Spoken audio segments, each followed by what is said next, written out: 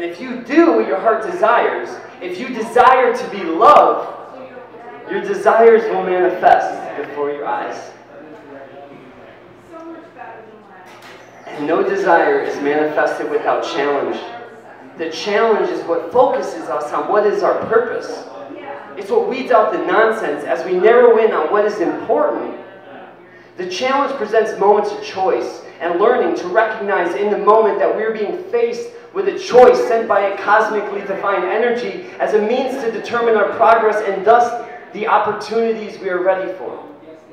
It's as important as it is to understand that we were created by a cosmically defined energy to enjoy what we enjoy